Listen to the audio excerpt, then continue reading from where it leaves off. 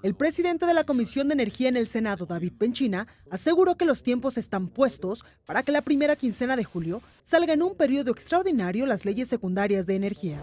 Yo he dicho, por parte de mi grupo parlamentario, hay la aspiración de acompañar esta gran reforma, consecuentes además con lo que ha afirmado el señor presidente, antes de que concluya julio. Puede ser antes de la primera quincena, Frente a las acusaciones de los senadores del PRD que argumentaron no haber sido escuchados durante las reuniones de comisiones, David Penchina lo negó, pues aseguró que el 80% de las intervenciones en tribuna fueron hechas por legisladores perredistas. Y bueno, hay quien piensa, eh, yo no quisiera calificarlo, que había una estrategia dilatoria.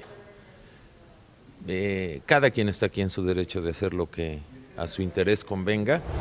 En las Comisiones Unidas de Energía y Estudios Legislativos aún quedan pendientes de discutir el tercero y cuarto dictamen, por lo que el presidente de la Comisión de Energía puntualizó que en las próximas horas se dará a conocer el tercer dictamen que contiene la creación de la Ley de Petróleos Mexicanos, la Ley de Comisión Federal de Electricidad y reformas a la Ley Federal de Entidades Paraestatales y Ley de Adquisiciones, Arrendamiento y Servicios del Sector Público. Para el financiero Bloomberg, Blanca Becerril.